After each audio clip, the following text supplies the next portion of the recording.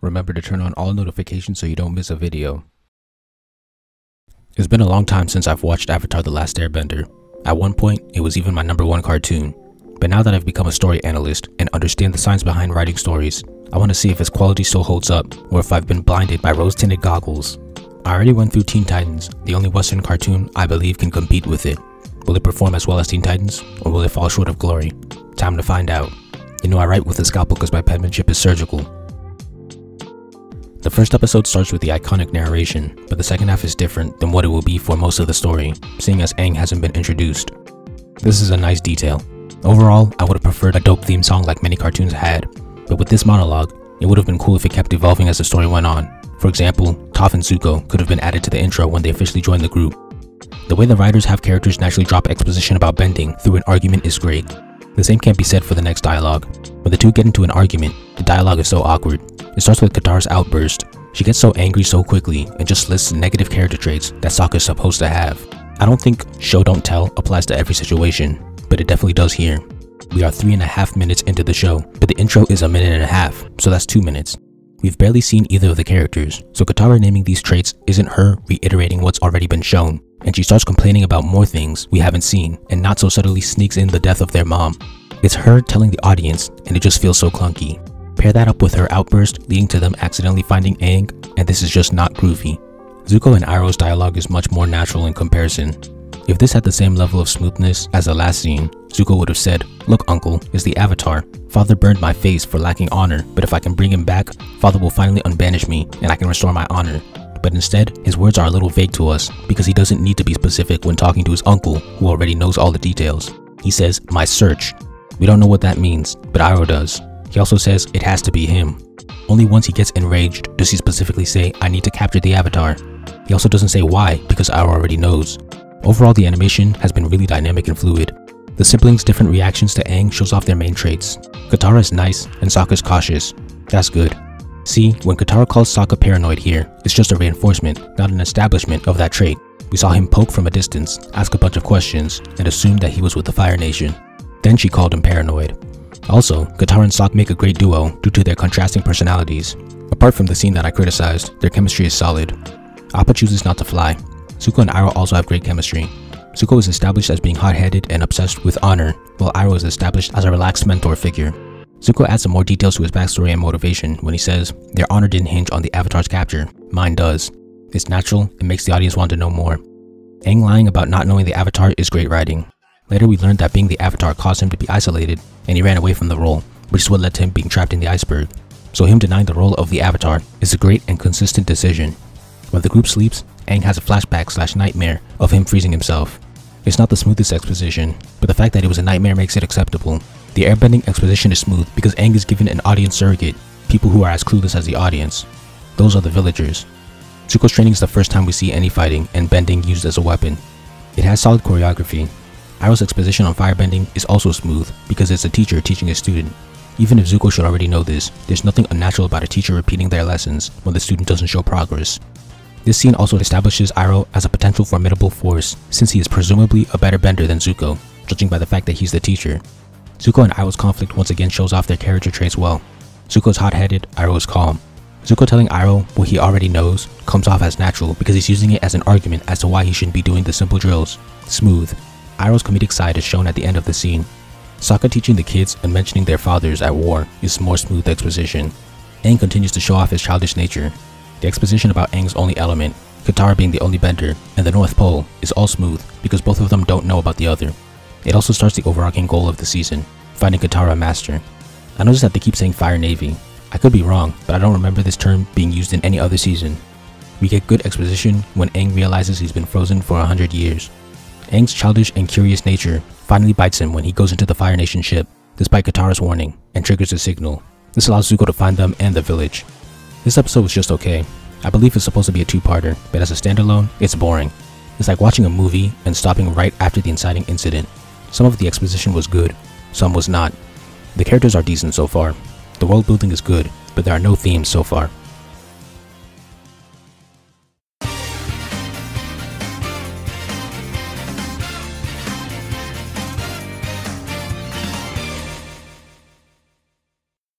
In episode 2, we get the main intro. The villagers have a reasonable reaction to Aang's negligence. I like how Katara is given a difficult choice. Choose the tribe or choose the newbie who can bring her to a teacher. Initially, she's emotional and chooses Aang, but Aang convinces her to stay. This is the second time Appa refuses to fly. This builds up anticipation for when he finally does. Katara snapping at her grandma over losing a chance at waterbending shows her selfishness. I don't know if it was intentional yet. The parallels of Sokka and Zuko getting dressed for battle is cool. A Fire Nation ship arrives and Zuko walks out. The armor and masks the nation wears looks sick. Sokka attacks and my appreciation for this show plummets. Bathos is basically when a serious moment is interrupted by comedy. It's almost never a good thing. This will be a recurring problem for Avatar. Sokka is constantly going on about warrior this, warrior that, and he's even given an epic suit-up scene with Zuko. But when it comes time for action, he's two shotted in a goofy way. Zuko doesn't even bend. Not only is this a hit on Sokka's character, it's a hit on the dramatic nature of the Fire Nation. The South Pole men are at war with these people, and Katara's mom died to fire soldiers. But when the story finally gets a chance to show how scary they are, we get Bathos. This decreases how seriously I view the nation. That was a fumbled opportunity right there. We could have seen how competent Sokka was and how dangerous the nation is, but nah, we get a joke instead. Sokka comes back for round 2, but it's mostly jokes again. There's a little bit of seriousness on each side, but only a bit. The fight ends with comedy. Then Aang shows up and makes Zuko look like a clown, with his helmet falling on his butt. I like Sokka thanking Aang for returning. It's a small detail, but it shows that he's not stuck in his ways. But the bathos is killing me. I don't want to hear it's a kid's show. Not only is this argument garbage, but it goes against what the show will become. In the future, this kids show tackles several serious and dark topics and gives them the gravitas they deserve. I'm just asking for that treatment to be given here. These poor decisions also go against good writing. If you want the audience to fear a character or a group, you can't have their first confrontation be pure jokes. That's common sense. Look at Teen Titans. Imagine if Slade's first fight had him beating up the Titans in a silly way or being silly himself. It'd be hard for the audience to take him seriously. Furthermore, the comedy could at least still be funny if it's going to ruin potentially great moments, but it's not. I like Avatar, I swear, but I'm also capable of being critical. Aang's decision to give himself up is a great moment that shows that he values the safety of innocent people. This is the midpoint, a false defeat. The moment of Aang leaving Katara could have actually landed for me if most of the action leading up to that point wasn't goofy. In reality, it falls flat. I also love Sokka preparing to save Aang without Katara's influence. Once again, it shows that he's flexible and capable of acknowledging when he's wrong. That's a character arc right there. So far, he's one of the show's highlights, so it's unfortunate that in combat he's treated like a joke. This is the first time the two siblings get along. Then Granny also changes her mind and supports them. The art and animation when Aang starts fighting looks great. I like the bird's eye fisheye shot. I also like Aang's creativity in battle. Sokka the non-believer, being the one to get Appa to fly, was hype and poetic. The music building up as he approached Aang's correct phrase was excellent. The build-up of Appa not flying allowed this moment to be exciting. During Aang's fight, we see that airbenders have access to speed, the slight fisheye when Aang hops over his opponent and frees himself on his helmet looks great, and the action is creative. Iroh sleeping during this shows his relaxed nature. Notice how no one had to tell me he's relaxed or lazy. Aang and Zuko have a rematch and is thankfully taken more seriously. The animation is decent, but Zuko looks so incompetent. He can't land a single hit. Aang also introduces his air scooter. And then Aang 2 shots him in a silly way once again, once he gets his staff. This does a good job of showing that Aang is stronger with his staff, but it's Bathos again. Aang's low number of attacks also subtly highlights his pacifist nature. They have round 3 and now Aang is suddenly incompetent and he gets bested by Zuko. In the water, Aang enters the Avatar state and defeats all the soldiers with waterbending. Aang specifically said that he only knew airbending. This shows us that Aang can use different elements in the Avatar state. Zuko is hanging onto the staff when Sokka goes to retrieve it, so the latter pokes him off the same way Zuko did when they first fought, causing him to let go. Bathos strikes again. When the other guards get up, Katara uses her sloppy bending to freeze them, Iroh's laziness is shown when he wakes up after the heroes are already leaving, but his competence is shown when he and Zuko try to shoot them down. In the following action, Aang explains that he never wanted to be the Avatar. This is a fascinating concept, a chosen one hero who doesn't want to be the chosen one. The group decides to go to the North Pole together so Aang and Katara can learn waterbending. Aang shows his childishness when he prioritizes riding animals over mastering the four elements. A small detail is that most of the animals in this story seem to be hybrids of two different animals. That's the end of the two-parter. This was rough, buddy. I'll begin with the positives. Most of the characterization was good, meaning we understood their personalities well. Sokka had a character arc, Zuko and Iroh had a great dynamic, Katara and Sokka had an okay dynamic. The animation consistently looked great, sometimes reaching Sakuga levels. The action scenes were decent, and the world building was interesting. So far, Zuko, Iroh, and Sokka are my favorite characters. Considering that Aang and Katara are the mainest, I don't think this is the writer's desired result. The negatives. Way too much bathos with comedy that isn't even good. There are barely any moments that have appropriate gravitas, even in scenes that were supposed to be dramatic. The clunky exposition at the start was painful. The plot was very uneventful and felt like a lot of loitering. There was no theme in either episode. These episodes had two primary writers and three additional writers. How do you have so many people on the team and this is the best you could come up with? Hopefully the season at least has half of the episodes be of the quality I'm expecting from a story of this stature. There are 20 episodes in this season. I hope at least 10 are solid.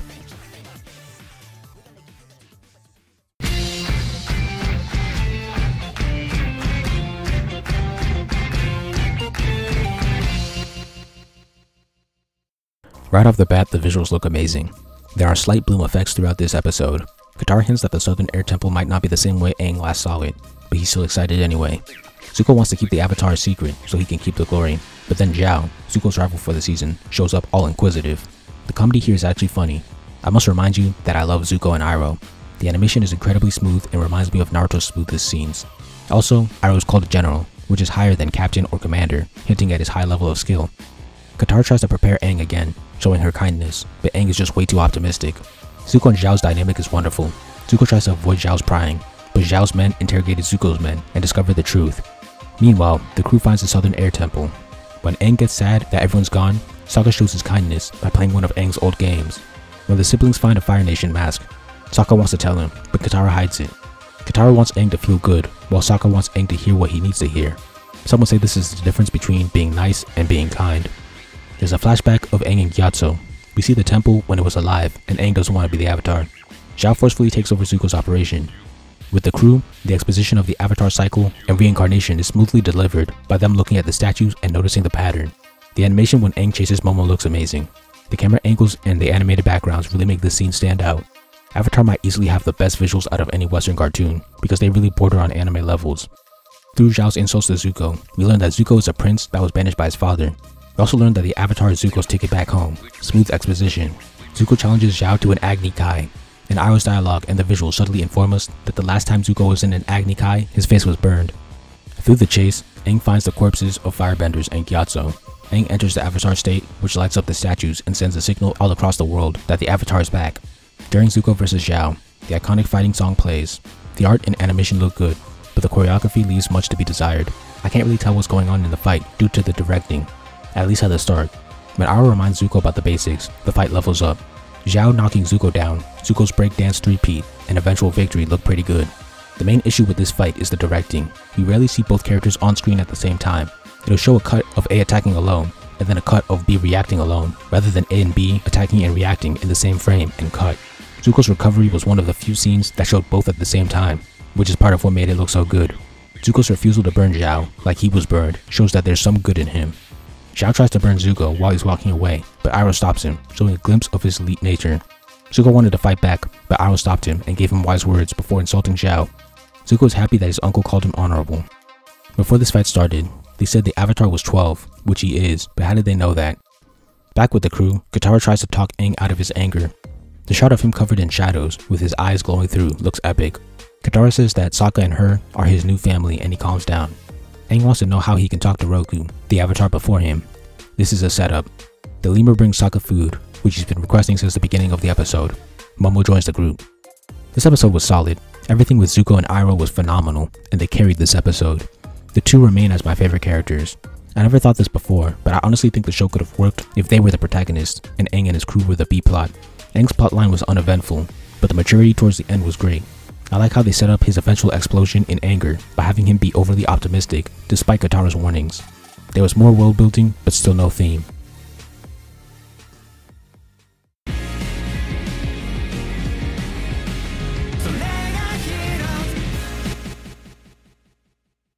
Zuko and Iroh are a funny duo and they can't track the Avatar, but it's because Aang doesn't know where he's going.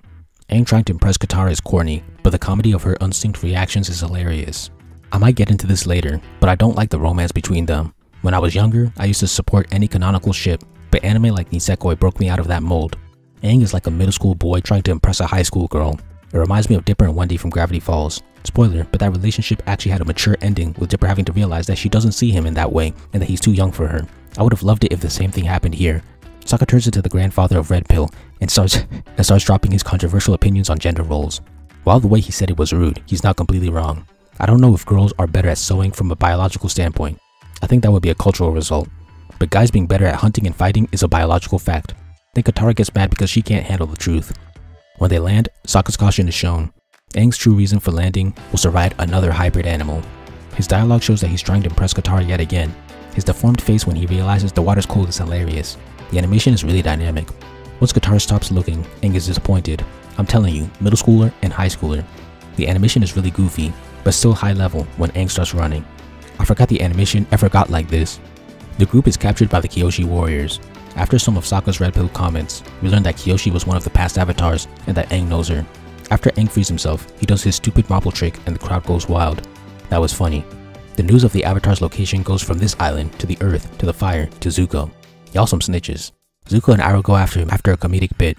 Sokka is mad that he lost the girls, and the episode, like the first two, is gonna disrespect his combat skills again. At least Zuko earned some respect back when he beat Zhao. For Sokka, I don't think he becomes respectable in terms of competency until the last season. It's a tragedy, man. Meanwhile, Aang is having a Spider-Man 3 moment when he's soaking up all the attention. He's gonna have to learn that being a hero is not about attention, but the responsibilities. Katara starts getting jealous for no reason after curving the kid all day.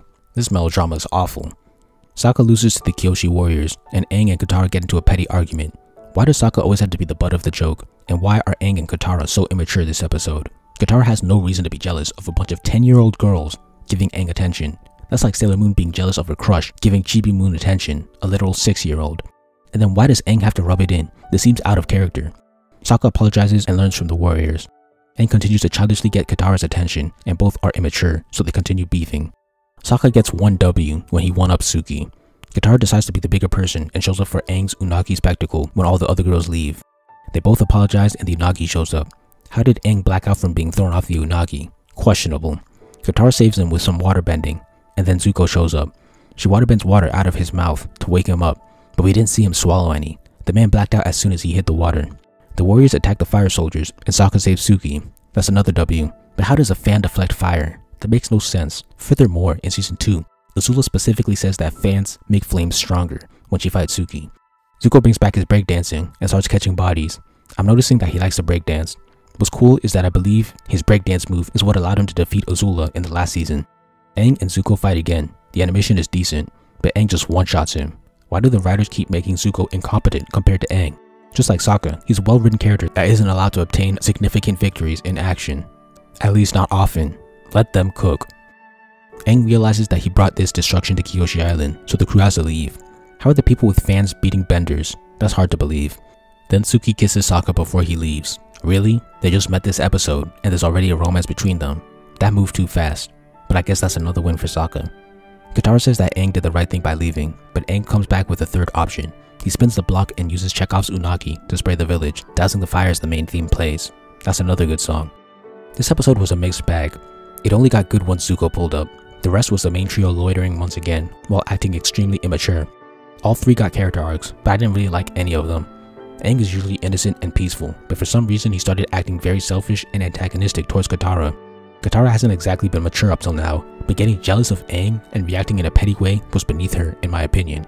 Finally, Sokka was legitimately saying facts at the beginning of the episode, but because some facts can be viewed as misogynistic, he has to be humbled and eliminate this behavior. The writers didn't want to acknowledge biological differences and took it out on the boy. Overall, I don't like this strategy of writing character arcs. The writers brought out a character flaw and then forced the characters to get rid of it. In Teen Titans, the writers often had the characters believing a lie and then learning the truth.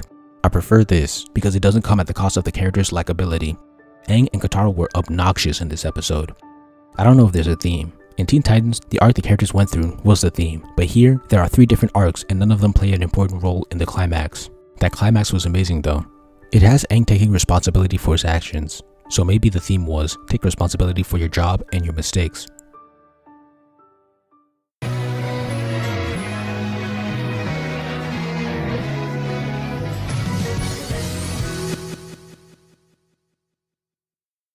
The crew goes to Omashu, I remember I used to think that they only visited one of the four nations each season, but in the first season, they visited water, air, and earth so far. This is the first time we see earthbending. For some reason, Kyoshi Island had no earthbenders. The world building of how earthbending is used in Omashu's structure is really cool. Young Bumi is shown in a flashback. I like the freeze frame when the crew is riding around. Avatar occasionally has some unique comedy, and I appreciate that. This entire idea of writing the mailing system shows how immature Aang is. He caused a lot of destruction for his own amusement. Wasn't the theme of the last episode about taking responsibility? The Cabbage Man has his cabbages ruined twice. When the crew is brought to the king of Omashu, the old man has the same left eye and skin color as Bumi, which is a hint to his identity for attentive viewers. Bumi quickly exposes Aang as an airbender in the Avatar. He knows because Aang and him were friends 100 years ago. Bumi forces Aang to go through challenges while holding his friends hostage. When Aang gets to choose his opponent, he thought he outplayed Bumi by choosing him, but who'd have thought that the leader of an earthbending society would be an earthbender? He had two non-benders to choose from, Bumi says that avoid and evade is a typical airbender tactic. We've seen Aang do that a lot, and I even mentioned it once. Smooth exposition. The camera angle when Bumi punched the floor looked cool, but other than that, the usual problems are still present. Both characters rarely share the screen. Bumi turning earth into sand is an interesting application. So is Aang creating a tornado to reverse an attack. After the fight, Bumi turns into Rumpelstiltskin and asks Aang to figure out his name. The theme of the episode is think outside the box, and that was conveyed well. The episode ends with the two riding the slides and ruining cabbages.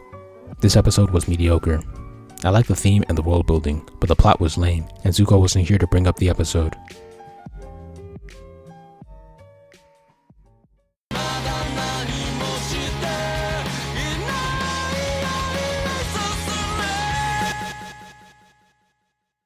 The painted backgrounds look really good. Sokka's hunting skills are questionable, and his cautious nature is shown again. When they find Haru, Sokka wants to be cautious again, but Katara just goes up to him. The Fire Nation is in control of this Earth village. This is the first time we've seen this. Exposition is delivered smoothly because the crew is the audience surrogate.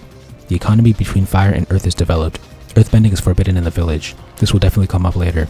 Katara starts relating to Haru because they are both benders and had a parent taken away by the Fire Nation. The compositing when Haru and Katara are in the sunset looks stunning. That's something you usually only see in anime. Haru can also turn rock to sand. Katara tells Haru about how her necklace was from her mother. When Haru uses earthbending to save an old man, his pose looks similar to Bumi's when he lifted the giant rock, especially the thumb and index. Sokka is being cautious again, but he becomes the butt of a joke, again. The old man's name is apparently Judas, cause he snitches on Haru for saving his life. Katara has apparently gotten better at waterbending when she learns Haru's been taken. The bloom is heavy here. Katara comes up with a small plan, but Aang's childishness shows once again. He thinks this is fun. The animation during the planet Sakuga it's so expressive for no reason, and the acting is so bad. This scene is hilarious though. Aang being distracted and the earthbending lemur are classics. Katara is taken to a shipyard as a prisoner. The warden's monologue informs us that earthbenders can't bend metal. This will be important in season 2 as well. Haru's father, Tyro, has given up on fighting back, unlike when he got captured in Haru's story. Katara tries to give a motivational speech, but no one cares. Aang and Sokka come to save her, but she won't leave until everyone is free. This is her kindness again. Sokka is cautious and fights back, but he eventually agrees. The warden arguing with his soldiers was funny. The comedy is finally improving. Sokka comes up with a clever plan to bring the cold to the earthbenders so they can fight back. The cinematography during the explanation was good. The warden says, you're one mistake away from dying where you stand. That's an alternative version of the word die. I vividly remember other episodes avoiding the word kill, like the plague, but they're allowed to say die? That's strange. When cold is brought, the earthbenders are so broken that they don't fight back. Haru was initially stopped by Tyro, but he decides to take action, and Tyro joins in to protect his son.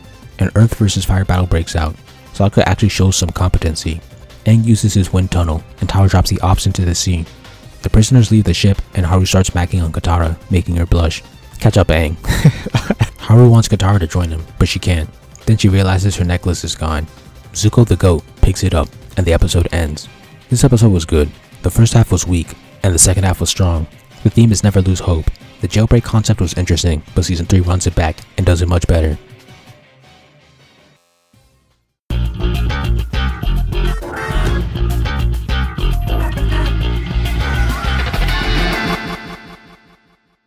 This is the first multi-part episode. Aang is childish and jumps through clouds. He says it's mostly made of water. That comes up in a future episode. The crew finds a destroyed forest, and Aang blames himself for some reason. Zuko and Iroh have another comedic bit, with Iroh being relaxed and Zuko being uptight. These two are national treasures and are carrying the story so far. The voice acting is also phenomenal in this whole cartoon. Sokka being cheered up by Aang getting hit by an acorn is hilarious. The acorn will come back. She says that acorns mean the force will grow back. The compositing in the old man's village looks wonderful. The crew learns about Heibai, a spirit that attacks a village at night and abducts people. We also learn that during the winter solstice, the natural and spirit worlds come close, this exposition also reveals that the Avatar is the bridge between the natural and spirit worlds. Aang needing Roku's guidance is brought up again. Sokka's pessimism is hilarious. Iroh gets captured by Earth soldiers, and they recognize him as the Dragon of the West. They call him Once Great. Iroh's legendary status keeps coming up. For the first time, Iroh's laziness bites him. Heibai shows up and wreaks havoc, ignoring Aang. Sokka tries to help Aang, but gets snatched. Aang chases after them. Meanwhile, Zuko uses his detective skills to learn that Iroh was captured. Aang and Heibai go to the spirit world, but the former doesn't know it yet. The night color palette helps hide this. This is the first time Aang goes to the spirit world. Ba Sing Se and Iroh's 600 day siege are brought up here. Iroh sneakily leaves a sandal behind for Zuko to track, which he does. Aang realizes he's in the spirit world and that he can't bend here. A spirit dragon comes and reveals that he's Roku's animal guide. Apparently Appa is Aang's, and this is an avatar thing. What's interesting is that the Sky Bison and Dragon are both the progenitors of airbending and firebending respectively. Iroh can see Aang and the dragon despite being in the natural world. This displays how spiritually in tune he is. Iroh uses his wish to take on the earthbenders and escape, but he's quickly captured. The comet is brought up for the first time. Aang learns that he'll be able to meet Roku on the solstice. That's a new mission for this season. Zuko being forced to choose between capturing the Avatar and saving his uncle was great writing. Zuko chooses Iroh, which shows that he doesn't place his honor above his uncle. When Zuko pulls up, the focus blur on the hand looks cool. Zuko and Iroh take the 2v5 like it's nothing. The animation looks good, but the framing issue still exists. This is the first time we see the Earth Soldier hats being used as a shield. The B-plot ends here, the Heibai shows up again. Aang learns that Heibai is the forest spirit who's mad. He brings back the Chekhov's acorn to tell Heibai that the forest will return. He turns back into a panda and the abducted people return. When being thanked, Sokka shows his practicality by asking for supplies and money. I really like him. The crew needs to get to the crescent-shaped island, but the solstice is tomorrow, and the island's in the Fire Nation. I like the overarching goal and the ticking clock. It means that they'll visit all four nations in the first season. This episode is okay. There's no theme, but the plot was pretty good. Once again, Zuko's plot was better, but the A-plot had a lot of interesting exposition and an antagonist that introduced an interesting perspective. This doesn't feel like a two-part episode because everything here was wrapped up.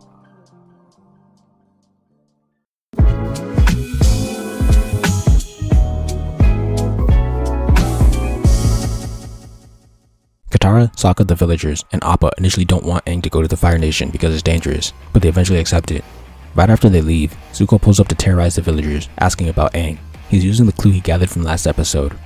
When Iroh and Zuko talk, we learn that Zuko is 16 and that the Fire Lord is strict. He's not allowed to return to the nation, so it's dangerous for him to chase the Avatar. This is an interesting conflict. Zuko is shooting at the crew, but a Fire Nation blockade shows up. After arguing, the crew and Zuko decide to go past it. Iroh tried to warn his nephew, Zhao is on the blockade and shoots at Aang, disregarding Zuko's safety. Appa leaves, but Zuko's ship is damaged. Despite this, he keeps pushing forward. Sokka almost falls and Aang destroys a ship, allowing them to pass. Zhao lets Zuko, who was gonna risk crashing, go through because he might lead him to the Avatar. This is the most intense the story has been. No Bathos in sight. That's how I like it. On the Crescent Island, Aang fights the Fire Sages and shows off his super speed when escaping. One Trader Sage helps the crew find Roku, Fire Lord Sozin is name dropped when the sage is giving exposition. Then a new problem arises. A door is closed and it can only be opened by a mastered avatar or all sages. Sokka comes up with a plan. Meanwhile, Zuko decides to let his main ship be a decoy for Zhao to follow while he takes a smaller ship to find Aang. Sokka is extremely competent with his plan and mentions his father. The plan unfortunately fails. Katara makes a follow-up plan, using the fire marks to fool the sages into thinking they got in. This is really clever. The sages fall for it, but Aang is caught by Zuko, but he frees himself and enters in the nick of time. Aang meets Roku, and Zhao shows up, having seen through Zuko's trick. Roku gives exposition about Sozin's comet. The comet started a war, and Ozai will use it to end the war in summer. Aang is given a ticking clock. Defeat Ozai before the comet, or there is no more hope.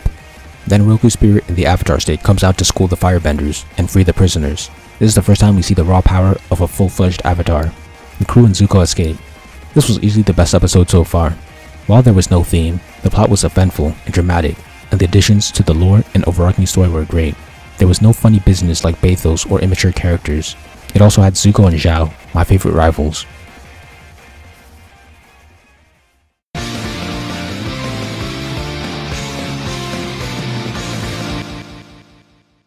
Aang is freaking out about having under a year to master the elements. Katara offers to teach Aang what she knows. Meanwhile, Zuko and Iroh make a hilarious duo again.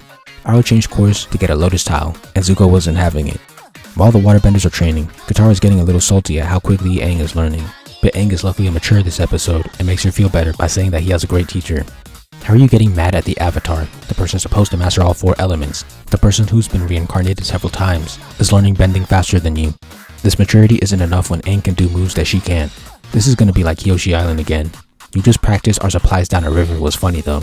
If Katara can somewhat waterbend, why has she rarely used it in battle? Also, she was garbage in the first two episodes, but now she has some moves. Was she practicing off screen? I feel like that's something that should be shown since it's important to the story. Aang spends some money on a bison whistle and Katara has to keep the money from now on. That bison whistle comes back, but Aang's immaturity in buying something like that when they're low on money is evident. Find a water scroll with the pirates and Katara steals it cause she's broke. The two point perspective during the chase looked nice. Katara uses waterbending in battle, bringing back the ice from episode 2. Cabbage Man is back for another gag. When they escape, Katara reveals she's a thief. Her justification is that the pirates stole it from a waterbender. Not a good excuse. Two wrongs don't make a right. Sokka rightfully criticizes her, but she says Aang has to learn waterbending. The Zuko B plot ties into the A plot when Iroh goes to the pirate ship and Zuko overhears a conversation about a bald monk. When Katara messes up her move, Sokka points out that her failure is deserved because she's only interested in teaching herself. When Aang gets the water whip, she snaps at him out of envy, proving Sokka right. It's rare to see Sokka in the right. I don't like the way the writers make the characters unlikable just to tell an arc, but in this episode, it's a little justifiable, because seeing someone learn something faster than you would create envy in most people. But the usually kind Katara shouting at Aang just because he's better than her is a little out of character. She snapped at Sokka, but only when he antagonizes her. Aang was trying to help. Once again, he's the Avatar. Him learning faster should be expected. Sokka trying to extract more apologies is funny. Katara said she was done with the scroll, but at night, she took it back to practice. She's so insecure this episode. This causes the Fire Nation and pirates to find her, and Zuko comes with quips. For the first time, Zuko tries to reason with her to get the Avatar. He offers to return her necklace back. This doesn't work. Zuko threatens to burn the scroll if the pirates don't help him find Aang. The two guys get kidnapped. Iroh saying that it's Katara's fault is hilarious. I'm telling you, Zuko and Iroh are national treasures. Then Sokka, then Sokka starts his Olympic gold medal instigating and gets the pirates and fire soldiers to turn on each other. The pirates decide to keep the Avatar, and the two sides fight. I'm just realizing this, but the Fire Nation has, has benders and non-benders. The guys with the masks can bend, the guys without masks hold spears. Zuko versus the Pirate King fixes my major issue with the fights. The camera is pulled back so that both fighters can be seen in the same frame as they exchange blows. And Katara use one of the waterbending moves they learned to move a ship and escape on it. Zuko and Iroh have another funny interaction before learning that their boat's been stolen. Aang is already good at water, and Katara does a Chekhov's water whip to beat a foe. Momo takes out a pirate bird while Sokka gets beat up. Why can't he fight? After being saved by Aang, he saves Aang back while he blows the Chekhov's whistle. This makes up for before. The Benders use water to stop the ship from falling down, but the other ships crash into them, pushing them off the edge. Appa saves them in the nick of time due to the whistle. Iroh finds the Lotus tile and Zuko throws it. I love these two. Katara apologizes again and faces her flaw, but Sokka still has the scroll. I'm glad that the writers have the characters admit that stealing is wrong, because that was a red flag. A show with a young demographic shouldn't be encouraging stealing. I don't think any show should be, but especially not ones like this. She adds unless it's from pirates, but I'll let it slide since it was comedic. This episode had two themes, stealing is wrong and don't be too competitive. Tara really took some L's here because she made both thematic mistakes. This episode was surprisingly good. It had great setups and payoffs, an interesting character arc, it was eventful, and it progressed the overarching plot. It's not as good as 8, but it's good.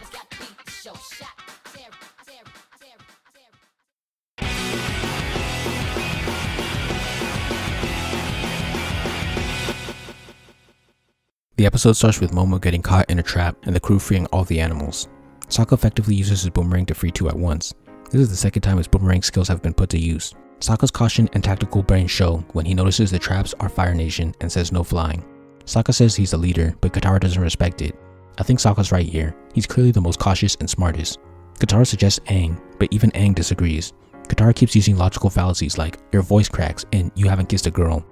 Hold on, she specifically got mad at Sokka for stereotyping boys and girls in episode 4, but here she says, why do boys always think someone has to be the leader? Hypocrisy.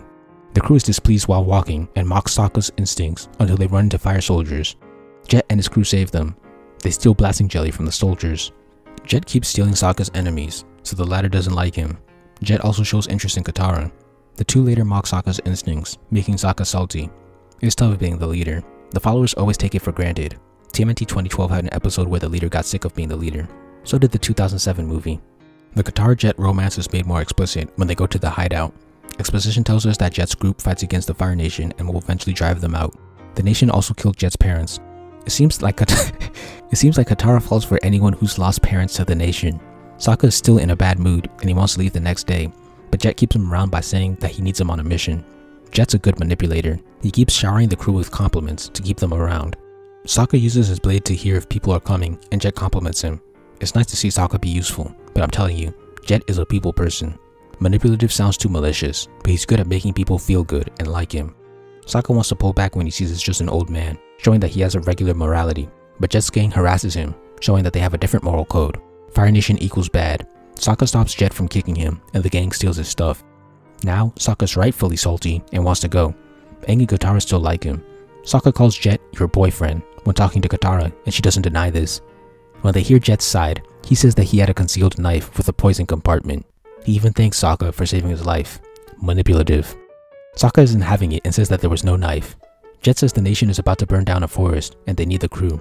Katara gets petty and says that Sokka's jealous that Jet's a better warrior and leader. Man, she is so unlikable sometimes. Half the time. At night, Sokka spies on the gang and sees them planning how to blow the dam, which will hit the Earth Town and kill innocent citizens. Jet says sacrifices have to be made and admits to lying about the forest fire. He's a full-on consequentialist. He gets his goons to keep Sokka away from his crew and lies to them later. Jet smooth talks the two into helping him with water. Jet highlights that he wants to meet back up at the reservoir, not the hideout, but Katara chooses the hideout anyway. Sokka uses the Chekhov's traps to trap his two captors and escapes. While at the hideout, Aang realizes that the gang is going to use the blasting jelly they got to blow up the dam. Jet shows up to stop the two. Katara's in denial because she's too kind or in love, but Jet tells them the truth. Jet tries to smooth talk and reason with her, but when he brings up Sokka in a menacing way, she attacks him. Her valuing her brother over this smooth criminal is a great moment, somewhat making up for past terrorism this episode. Jet fights Aang and he's easily the most competent non-bender so far, maybe in the entire story. Only Ty Lee or the Swordmaster would be at his level. The fight is very dynamic and avoids the framing problem. I love how Jet uses Chinese swords, and I love how he hooks them together for longer range. He has such a cool fighting style. He actually almost beats Aang until Katara jumps in. Katara being the one to beat Jet is the best choice because she was the one that trusted him the most. After she freezes him, he gives the signal and they have to hope that Sokka is able to stop it, but he's not. The dam blows. Jet thinks he's won, but Sokka shows up and explains how he wanted the villagers to leave thanks to the Chekhov's old man. The painted flashback is a nice stylistic choice. Sokka says, you became the traitor when you stopped protecting innocent people. That's cold. The crew flies away on Appa, and we learn that sometimes Sokka's instincts are right. This is the best episode so far. There's a theme, which is you shouldn't hurt or sacrifice innocent people. There's a well-written antagonist that's a fake ally opponent. There's world building, there are great setups and payoffs, there's good action, there are interesting stakes, it's well paced and eventful. Sokka's treated with respect, there's a great fight. It just made every shot. I don't think I have any issues with it. This honestly might be a perfect episode.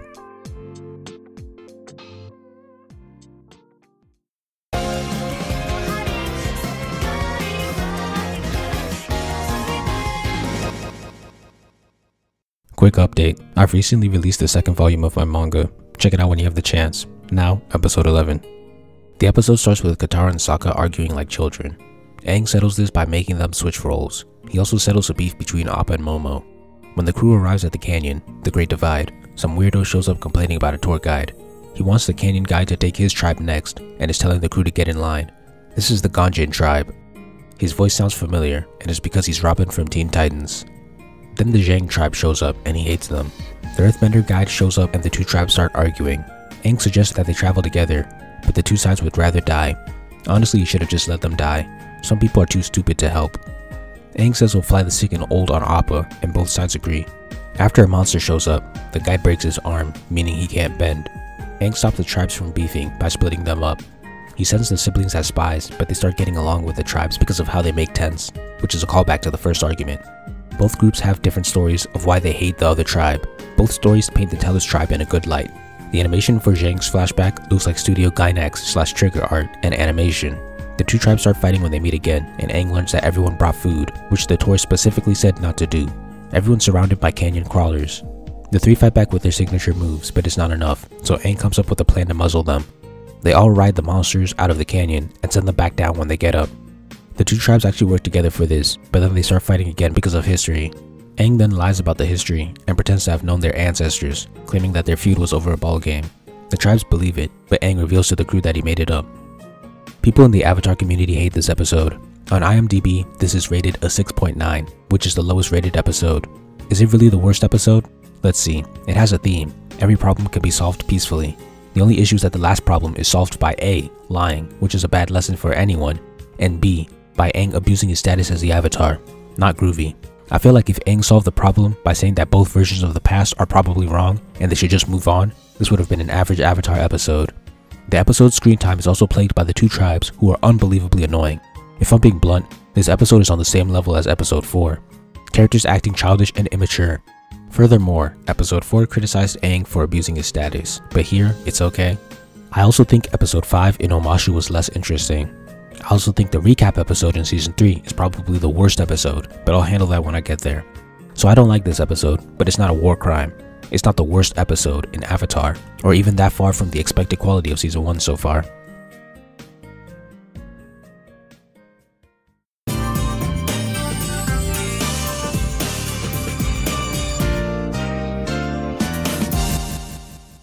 The episode starts with Aang having a nightmare due to the Avatar pressures, Katara being kind, and Sokka being funny. Meanwhile, Iroh and Zuko clash. Iroh senses a storm coming, but Zuko is headstrong and disregards safety in order to catch the Avatar. One of the crew members hears this. I just noticed, but Zuko's haircut looks terrible. This car distracted me from that abomination. He needs a new barber. The crew coincidentally hear an old man and woman arguing about an incoming storm, which leads to Sokka getting a job since the teams broke. Back with Zuko, the lieutenant who heard Zuko earlier gives him attitude when he sees the clouds, which leads into an argument about respect. He's right about Zuko not showing respect to anyone around him. Zuko challenges him to a duel, and he accepts. That was cool, but Iroh stops them, like the wise adult figure he is. The old man gets on Aang's back about disappearing, which Aang was stressed out about earlier. Katara defending him shows her kindness, but the man is right. Then Aang really just flies away, just like he did a hundred years ago. Katara finds Aang and he gives her his backstory. Her asking him about it shows her kindness again, we learned that the toys Aang picked as a child belonged to the past avatars, proving that he was the next avatar. That's cool world building. This leads to him getting isolated from his friends. Monk Gyatso was easy on Aang, while the other monks believed he should be training. This argument caused Aang to be sent away to the Eastern Temple, which is why he ran away. Aang gets livid about this in the present, and his tattoos even begin to glow. After leaving during a storm, he ended up crashing in the water and making the iceberg. Katara shows her positivity by saying that Aang would have died if he stayed, and he's needed now. Meanwhile, Iroh gives Zuko's backstory to the soldiers. His haircut looked better back then. Here, Zuko is cheerful, a stark contrast to the present version. Iroh warns him not to speak, but Zuko's too passionate and does so anyway when someone suggests sacrificing men. This resulted in an Agni Kai, a fire duel, against his father. Zuko refused to fight and was burned by Ozai. Azula could be seen smiling in the crowd next to Iroh. I never noticed this. In just a second of screen time, they already show that she's a psycho, Ozai banished Zuko because he refused to fight and gave him the responsibility of capturing the Avatar. In the present, the old lady from before asked the crew to save the old man because of the storm. Zuko sees the helmsman in trouble, and he and the lieutenant save him. Iroh redirects lightning coming for the ship. This is the first time lightning bending appears. It's insane how many details are previewed in this season before they become important. Zuko sees Aang during the storm, but he decides to let him go for the safety of his crew, showing that he values the lives of his crew over restoring his honor, his primary motivation. Excellent writing. Aang saves them, but he falls in water, mirroring the past. He enters the Avatar state and makes a wind bubble, but this time he brings everyone to safety rather than freezing himself. Zuko apologizes to Iroh for the first time. The old man, who previously complained about Aang disappearing, now thanks Aang for saving him in the present. This was a phenomenal episode, almost as good as Jet. Aang's character arc, and maybe the theme of the episode, is to look on the bright side. The characterization is great, the flashbacks add layers to the two focus characters, and the plot is a great medium for exploring the development of the characters and how they've either changed or stayed the same.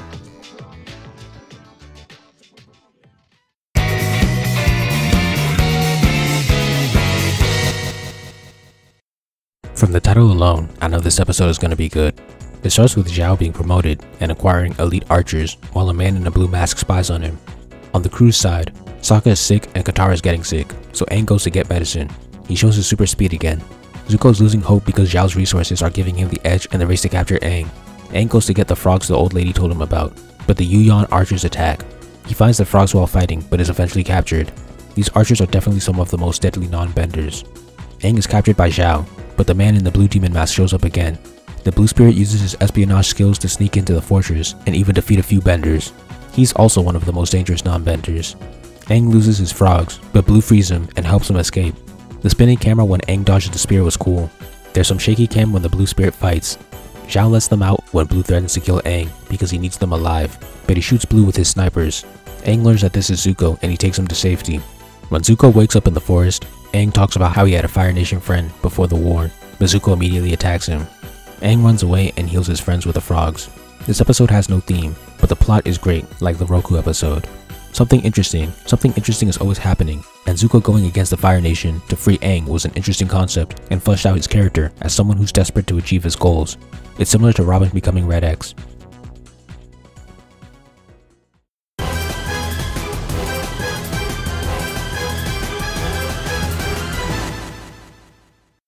This episode starts with Aang's horrible game. He weaves a necklace for Katara to replace her old one, but little does he know that it had sentimental value, meaning that it can't be replaced. Aang starts drooling over her, and Sokka makes it worse by calling this out, and then she friend zones him. What's with cartoon characters having no game, especially the teens? There are so many I can think of that have atrocious game. The crew meets a guy with great confidence due to his fortune being told by Aunt Wu. Sokka's skeptical nature returns despite evidence suggesting that Wu can tell the future. At Wu's, an assistant named Meng falls for the mediocre Aang for no reason. It's revealed that she was foretold to marry a big-eared man, so she thinks that's Aang. When Katara is having her fortune read, Aang decides to be corny and spies on her. The powerful bender part makes him happy and leads to a funny joke with him and Sokka. When Aang's fortune is read, he only cares about romance, so Wu seems to make something up for him. A new conflict arises when the villagers reveal that they rely on Wu's prediction about volcanic eruptions rather than checking it themselves. Aang shows some horrible game again, Wu predicts that the village is safe from the volcano by reading the clouds. Sokka continues to remain skeptical of the fortunes, and Katara is unusually interested in romance in this episode.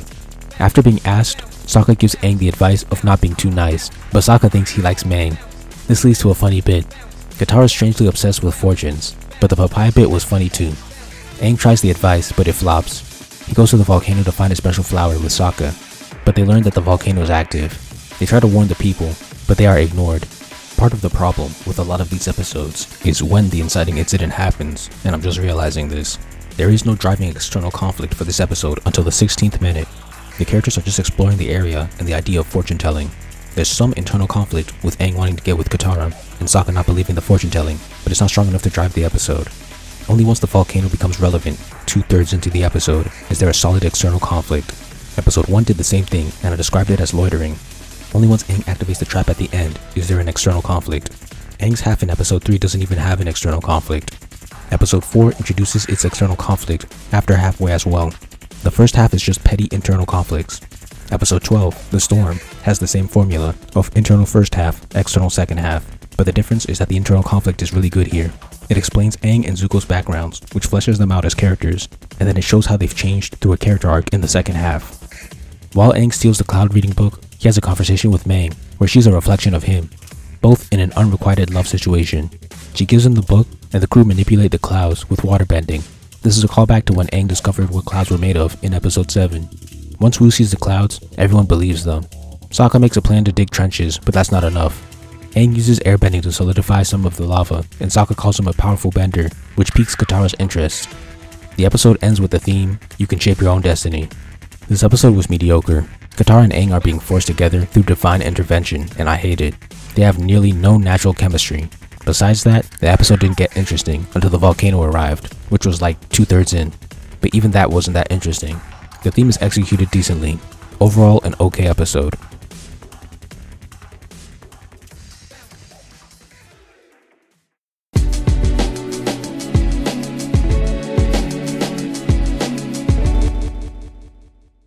This episode starts with the crew finding hints leading them to Sokka and Katara's dad. His whereabouts are an ongoing mystery throughout the show. Meanwhile, Zuko's ship gets attacked by the goth girl. Her animal finds a stowaway on the ship due to its scent. Iroh is a little too impressed by her. I can't blame him, he has good eyes. Zuko and Iroh are comedy gold.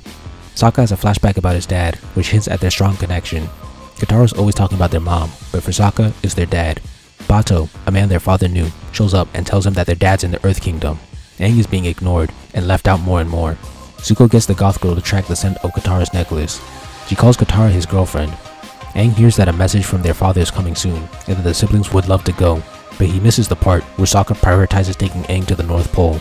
This is a great show of value for Sokka. He has the option to see his father, something he really wants, but he sacrifices it to help Aang save the world.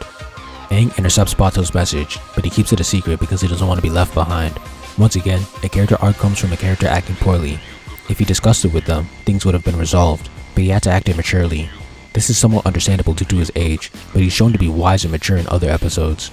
The old lady with the medicine appears again, when Zuko and the Goth are looking for the Avatar. So does Aunt Wu's place. Meanwhile, Aang continues hiding his secret, and Bato decides to take Sokka on a rite of passage that he missed out on. The trio work together to dodge rocks on a boat.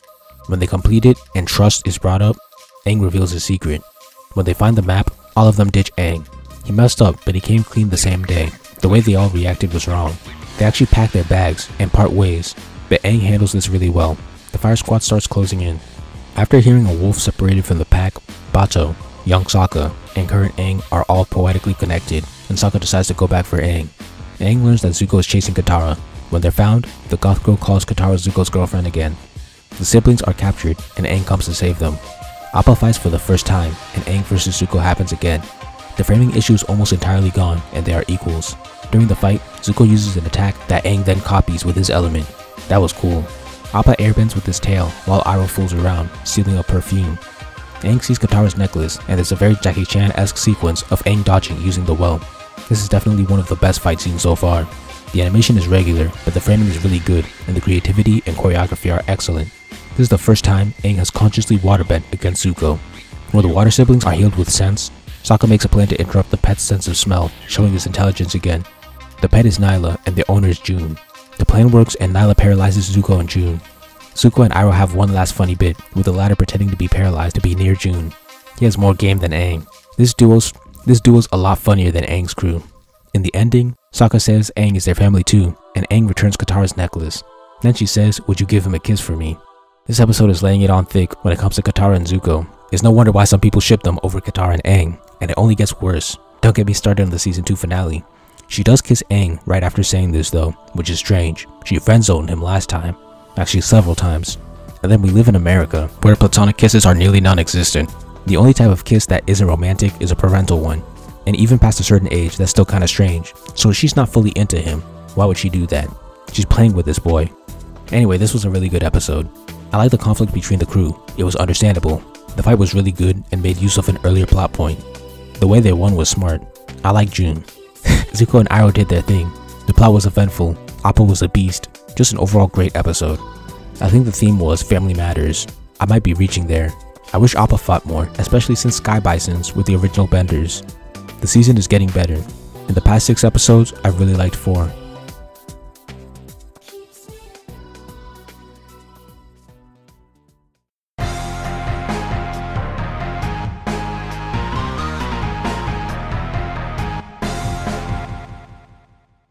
Sokka is hungry again at the start.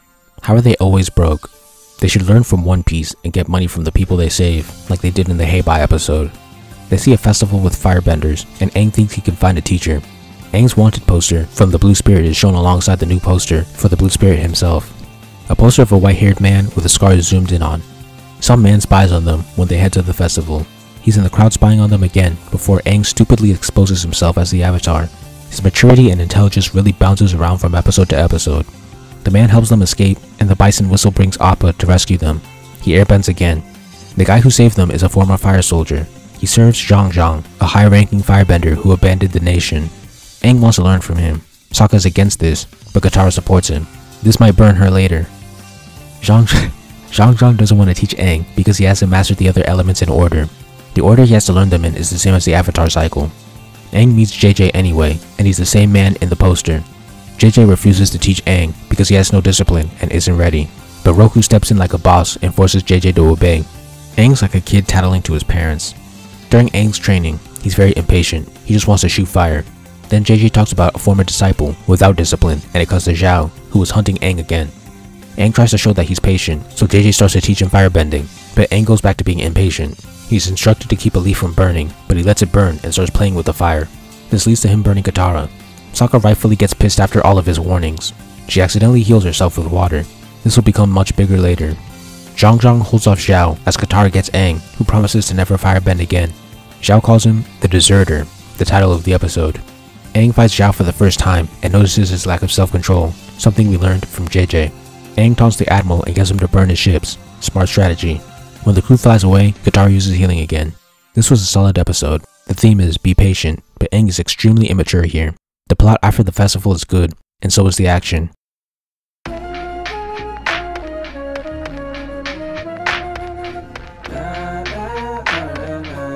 The crew hears about flying people in the sky recently, so Aang thinks airbenders might still be alive. The optimism and pessimism of the siblings is shown again. Aang finds the gliders and is salty that they're appropriating his culture. Initially, he says the kid, Teo, doesn't have spirit. When racing Teo, they do a spiraling maneuver like in Top Gun Maverick. The temple has been colonized and ruined for advanced tech, which upsets Aang even more. This one is understandable. He actually gets mad enough to start wrecking stuff. Sokka is really interested in the technology, and the siblings are mostly unaffected by the changes. Aang doesn't want to open the airbender door because it's the only untouched place in the sacred temple. The mechanist shows Sokka the gas problem. I like how parts of his character design are explained through past events, like his fingers and eyebrows.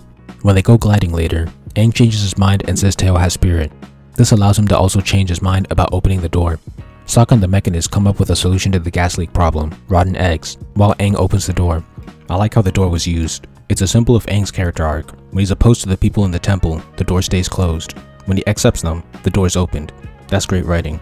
Inside are Fire Nation weapons. It's revealed that the Mechanist made a deal with the Fire Nation to protect the temple. This is the midpoint. Aang disrupts the deal and causes the nation to attack. Once again, internal first half, external second half. The execution of this style is done well here once again. The internal conflict is actually interesting and strong enough to drive the plot forward. The heroes decide to use the gliders and the new balloons that Sokka helped create to fight back. I like that Sokka's been given mechanical knowledge. It adds another use for his character combat-wise. The war starts, but the balloons are late. This is a setup. The animation during the action looks great as usual. I like the third-person shots of the gliders flying. The vehicles are CG, but they look good. Teo's dad knowing the weakness of the vehicles makes sense because he builds weapons for the nation, but it having to do with water is a little too convenient and out of nowhere. However, this weakness is never explained, and Katara just decides to use ice to dismantle them. Once the gliders run out of bombs, the war balloons show up. Good setup and payoff. The gas and rotten egg combo comes back, and Sokka throws the fuel down there, creating an explosion. Another good setup and payoff. The nation retreats but the balloon goes down, so Aang and Sokka work together to get them all to safety. In the resolution, Aang is fine with the new temple dwellers, and uses a hermit crab metaphor, an animal that was shown earlier. The balloon ends up in the hands of the Fire Nation. If this affects the actual continuity, that would be amazing. This episode was also solid. It had good setups in the first half that paid off in the second, Aang's frustration was understandable and in character. And guess what? His arc was a change in belief rather than eliminating a bad character trait. That's what I said I preferred before when covering episode 4. The theme would be, change can be good. Sokka was very competent here as well. The only negative would be that the first half was a little boring compared to the second.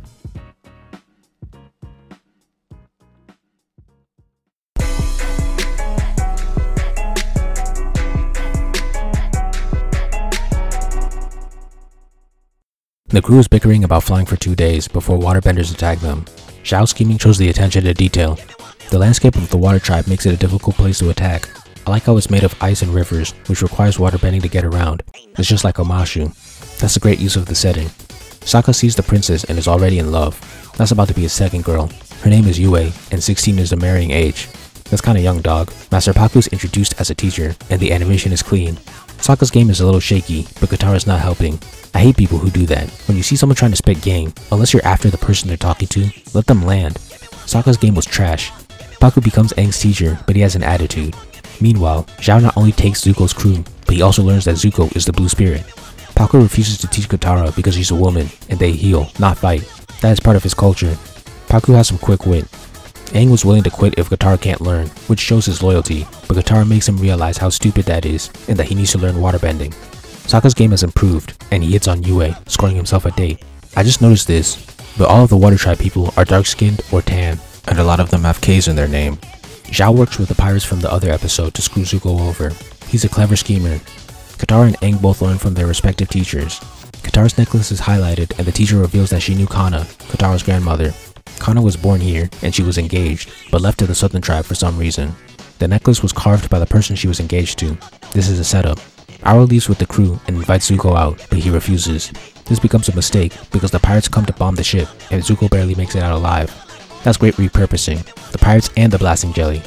Iroh thinks his nephew is dead. In the water tribe, Yue suddenly rejects Sokka for some reason. When the crew is venting, Sokka the genius tells Aang to teach Katara what he's learned, and Katara thanks him by leaving him unhappy. It be your own tribe. Pakku catches them and refuses to teach Aang due to the disrespect. It's crazy how just last episode, Aang was mad at his culture being disrespected, but now he's disrespecting the tribe's culture. Instead of apologizing, Katara challenges Pakku to a water Agni Kai.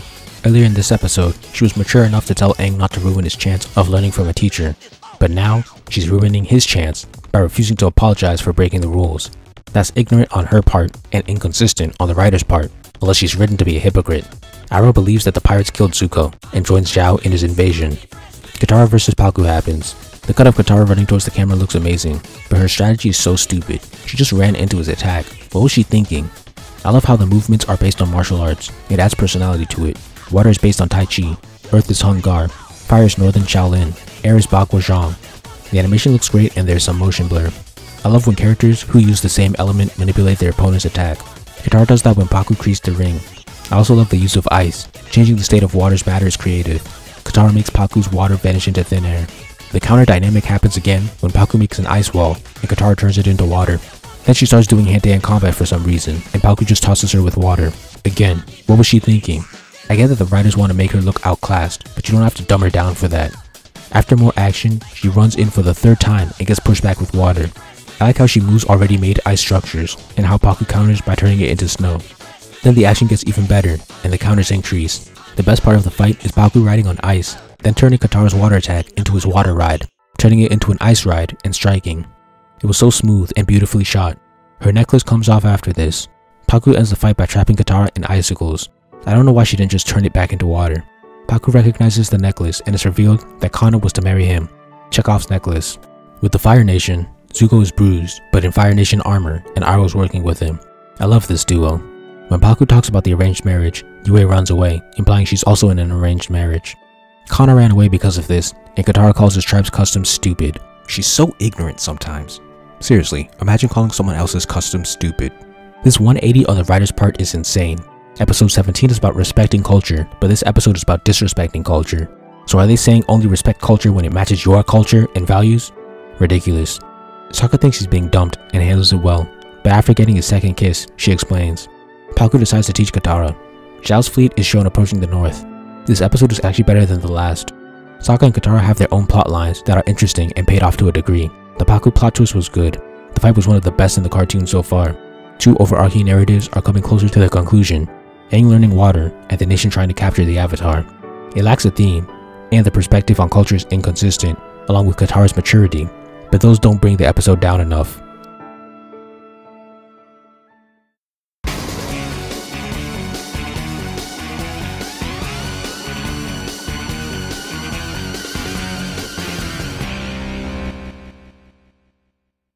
Katara has become one of Pakku's best students while Aang is goofing off. Sokka's game improves as he takes Yue on Appa.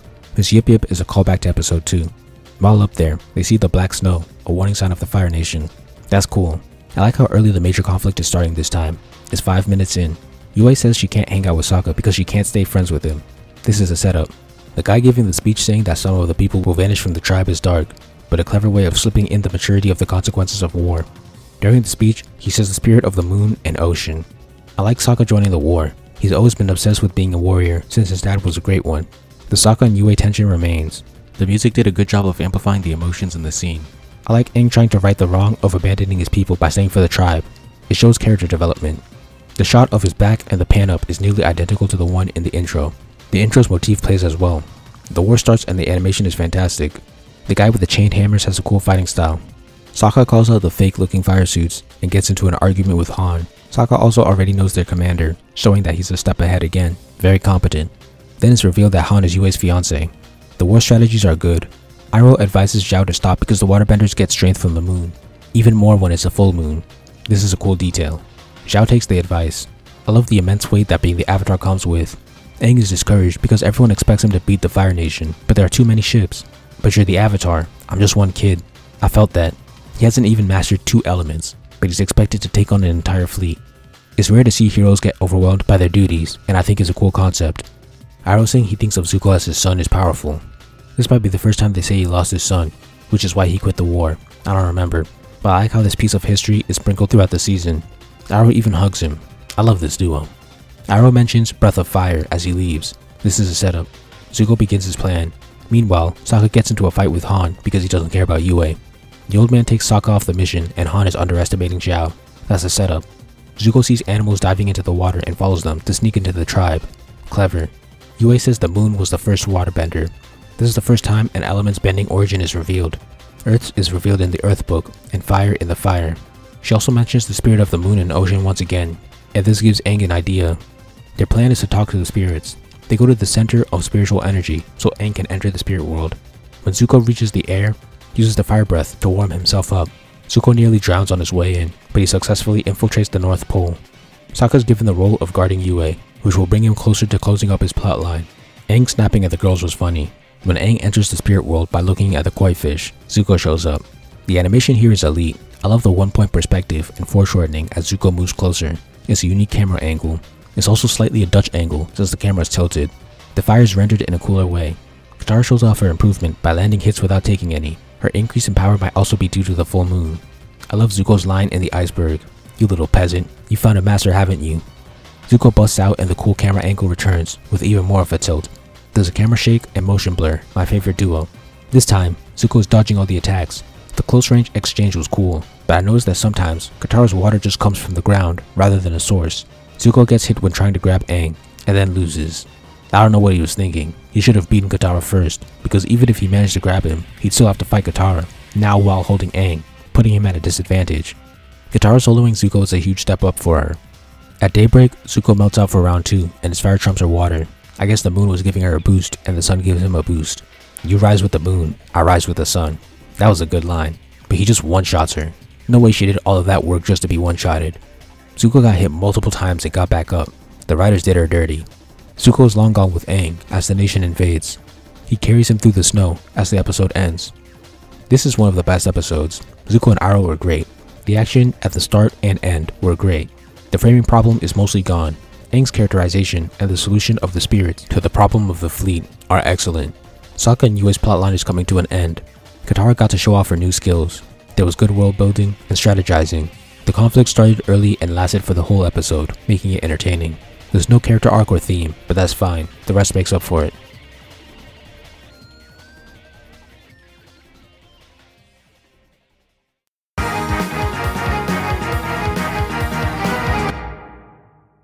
This is the last episode of Book 1, Water. Aang enters the spirit world and is different. Last time, he was in the human world as a ghost. Now, he's in a completely different world. He ends up meeting Roku there. Roku gives exposition on the moon and ocean. There are spirits who've crossed into the mortal realm. He sends them to Koh, the face stealer, for answers. He's not allowed to show emotions. In the real world, stupid Zuko is carrying Aang through a blizzard and nearly dies. He finds a cave and stops there. He uses the fire breath to warm up again. While talking to Aang, he mentions his sister, who everything came easy to. I like how they build her up. My father said she was born lucky. He says I was lucky to be born. That was hard. Who wrote this? This was written by Aaron Ehasz, who has written 7 of the episodes so far. He's the head writer and co-producer of the show. Iroh sets up a ticking clock with the Chekhov's gun when he says they have to win before the full moon rises, or else the waterbenders will be undefeatable. Zhao says he intends to remove the moon before comedically defeating Han, Zhao knows about the mortal forms of the spirits from an underground library in the Earth Kingdom. This has a whole episode centered around it in season 2, so the setup is amazing. He wants to kill the spirits, but Iroh, a spiritual person, says that it's a bad idea. Zhao even says that Iroh's journeyed into the spirit world. Aang meets Koh and this guy is nightmare fuel. He not only looks creepy, but he keeps changing his face while talking with eerie music. He even says that he stole the face of a previous avatar's loved one. He's a menace, he stressed Aang out so much that his body in the real world had to take a breath.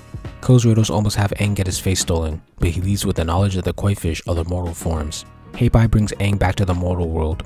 Good repurposing. I love how the waterbenders use their location for combat. The spinning shot of Pakku fighting fire soldiers looks cool. It also led to a smooth transition. The animation in general just looks great. Aang returns to his body, which allows Katara to find him. Zuko tries to fight Katara in the snow with a full moon and gets one-shotted. Now he looks lame. Aang decides to save him. Zhao bags one of the spirits, turning the sky red and removing all waterbending powers. Here, Yue explains how the moon spirit saved her life. This is a setup. Aang and even Iroh pull up to stop Zhao. Iroh's tenfold line was epic and is one of the few times he's been shown to be serious. Zhao puts it back but then kills it immediately, turning the sky gray. This was an epic moment. Great directing and music. Then Iroh starts shooting at him, and the flames are the only thing colored. Iroh takes out the soldiers as Zhao flees. Zuko escapes during this. Everything is grayscale, but Yue's eyes are still blue, which is a cool way of showing her importance and connection to the spirit. Aang enters the Avatar state and says it's not over, before fusing with the remaining spirit. The whole scene of him lighting up and sinking into the water was epic. The water turns blue, and he turns into a fish kaiju. The waterbenders bow, while the firebenders are destroyed with water. This is like a biblical massacre. The music really creates the perfect mood. Zuko finds Zhao, and their plotline comes to a climax. The animation, ankles, and blur all look great. Iroh is so wise, and he realizes that Yue could give her life to the moon spirit. She turns into the moon spirit and kisses Sokka one last time. Brief tangent. When Sokka told Zuko that his girlfriend turned into the moon, his that's rough buddy made it sound like he didn't understand, but he was here. He knew that the moon spirit died and came back somehow. Anyway, color comes back to the world and Aang goes back to normal. Zuko vs Zhao continues and Zuko is still winning. The water monster's hand grabs Zhao and Zuko tries to save him, but he lets himself be taken. He presumably drowns, which is kinda dark. I like the way this was wrapped up. Zuko got his win, but he showed that he was still the better person when he tried to save Zhao. I also like how Zhao was this season's villain and was defeated in the final episode. The war has ended and Pakku decides to head south and makes Katara Aang's teacher. Wait, what? Wasn't Aang better at waterbending than her in the pirate episode? Now she's master level and he's not, despite them learning from the same teacher? This is unreal. The master wouldn't have lost to Zuko in one move though. I like how Yue's father is proud, but sad. It shows emotional complexity. She saved the day, but she's gone. Zuko deciding not to chase Aang once again shows character development. In the last scene, Azula is shown receiving a mission from Ozai. That's the end of season 1. This episode was better than the last. I have the same review as that one, except multiplied.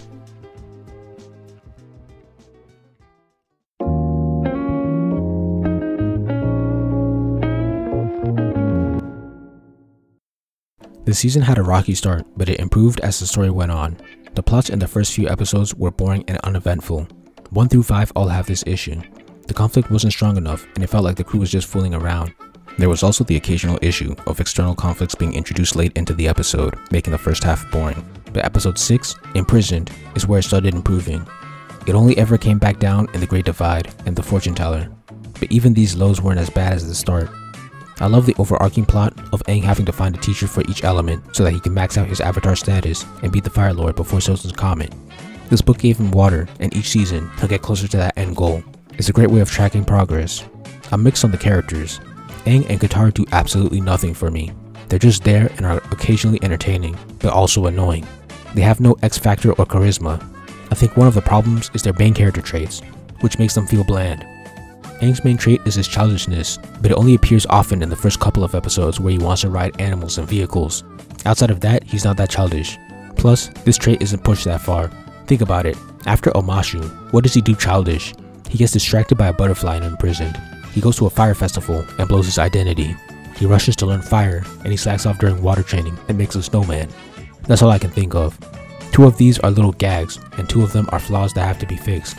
I prefer the gags because they treat his trait neutrally rather than negatively. When his childishness is negative, he needs to abandon it, making him blander. But those two gags are just short scenes. He's not like that through the whole episode. As for Katara, her main traits are her kindness and her anger. Her kindness appears more often, but isn't pushed to 11 like Starfire from Teen Titans. It's subdued.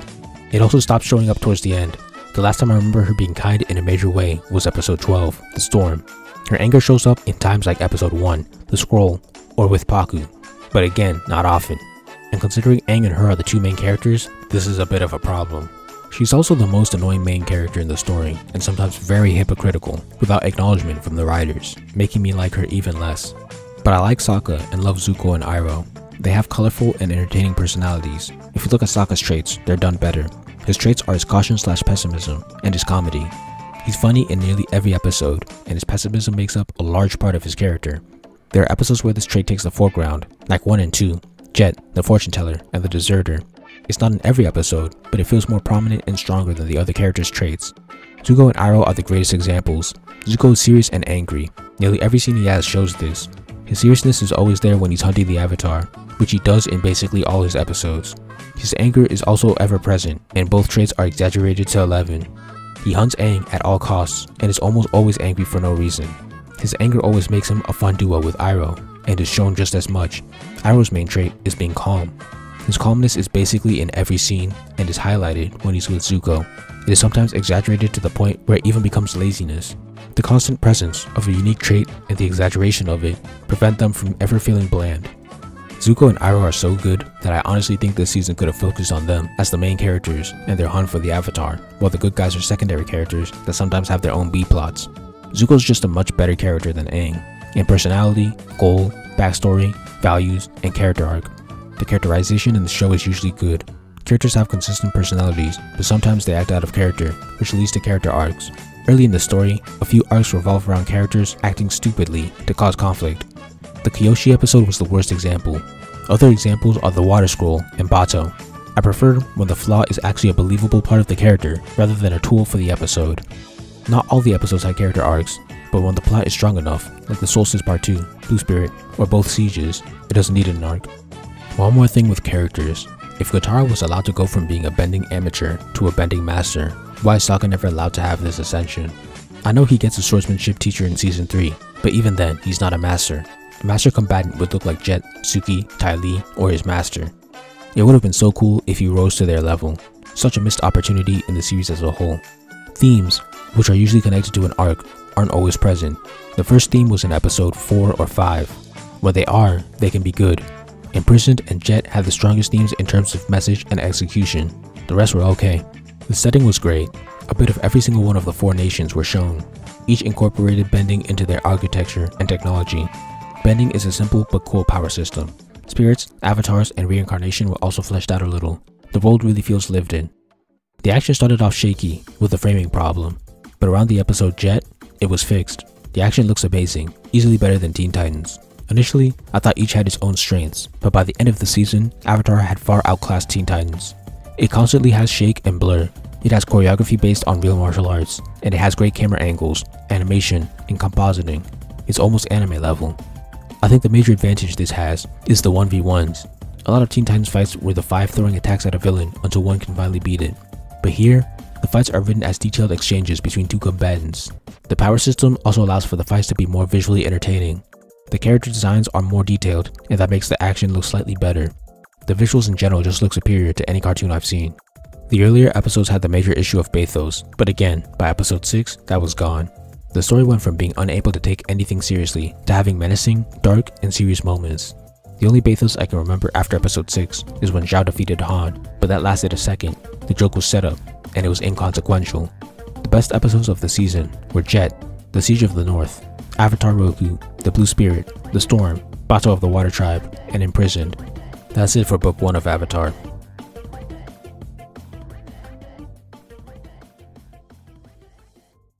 Thank you for watching. Please like, comment, share, subscribe, and help me revolutionize the manga industry by buying my manga and spreading the word. All important links will be in the description.